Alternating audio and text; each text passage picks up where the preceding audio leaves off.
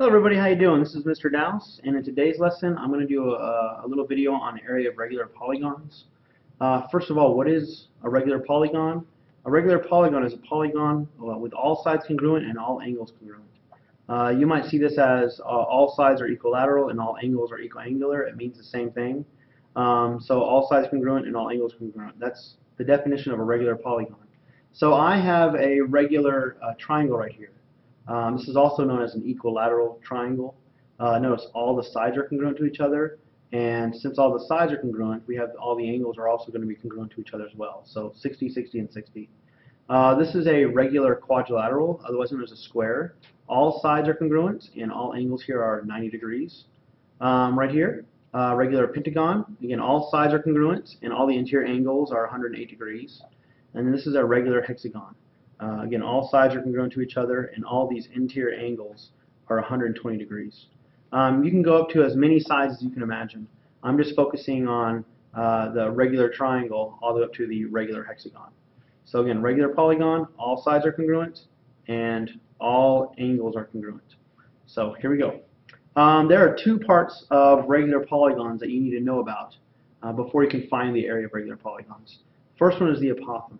Not an opossum, the apothem. There's a TH sound in the middle. So uh, an apothem is a perpendicular segment from the center of the polygon to the side of the polygon. I have an example of an apothem right here. From the center of the polygon, and it makes a, a 90 degree angle with the side. So perpendicular means it, it makes 90 degree angle. So where it, where it intersects. So this apothem here is making a 90 degree angle with this whole side right here. So we know this is a 90 degree angle right there.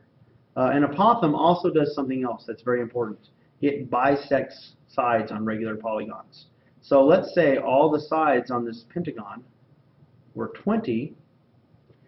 If all the sides were 20, but the apothem is going to bisect that side, then this segment right here is 10, and this segment right here is 10. This is very important uh, when dealing with uh, the apothem and finding the area of, of regular polygons. Um, so again, so an apothem uh, makes a 90 degree angle from the center. It's a segment from the center to a side, makes a 90 degree angle to the side. It also will bisect that side whenever we're talking about regular polygons. Uh, we also have a radius. Let me change colors here. Uh, a radius uh, is a segment from the center of the polygon to the vertex. So notice the center uh, to the vertex. The vertex is one of the corners on, uh, on a polygon. So on this pentagon, it's this corner right here. So if we look at the apothem and the radius, notice they make a right triangle. That is very important here. So we'll come back to that one, I think, on uh, my second video and my third video, so part two and part three at least. Um, but going back to radius, uh, radius, where have you heard of radius before? We've heard about it on a circle. So I have a circle right here, and notice the five points of the pentagon are touching the circle. So if I were to draw anything, a radius anywhere on here, the radius goes from the center of the circle and touches the edge of the circle. Well, the only place this happens on uh, this pentagon here, it's only happening on the vertices of this pentagon. So the radius, these are all radiuses, or radii. Radii is radius plural. So the radius is the only segment when drawn from the center and goes to uh, the corner uh, or the vertex of the polygon where it would touch the circle if the circle's uh, just big enough to touch uh, the points on this polygon. So just a think here. So you might that might help you remember what a radius is, or you just might remember it goes from the center of a polygon and touches one of the vertices.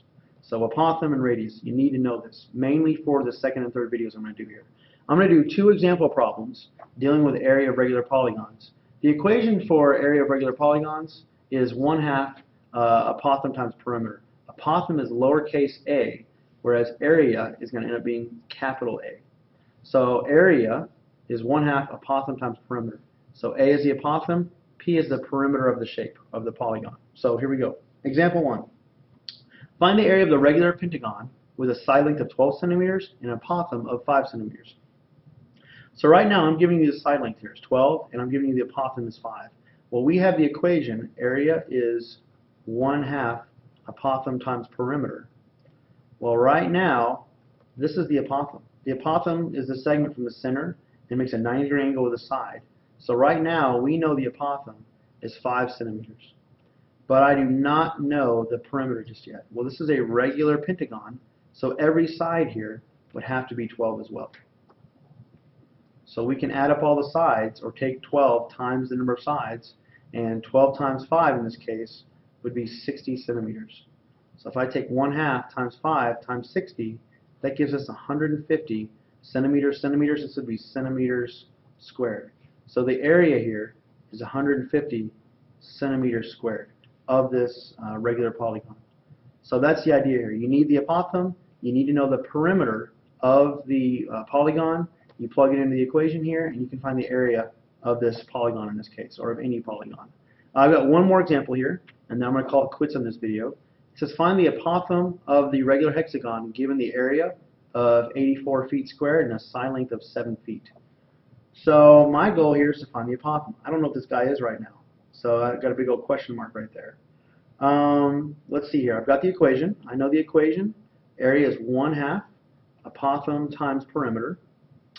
Um, what do I know right now? Well, I know the area is 84 feet squared, and then I have 1 half. I don't know the apothem, so I'm going to leave this as an A for apothem, and the perimeter. I know side length is 7, and I don't have perimeter, but this is a regular hexagon, so again, I know all these sides here are congruent to each other. So this is 7, this is 7, 7 feet, 7 feet, 7 feet, and 7 feet. Well, 7 plus 7 plus 7 plus 7 plus 7 plus 7, or 7 times 6 sides, gives me a perimeter of 42 feet. So can I simplify this to find the apothem? This is how you solve these problems. If you're ever given the area, you've got to plug in the area into the area equation, plug in the variables that you know, and then you're going to solve this problem backwards. Well, 84 is going to stay the same. I cannot simplify that.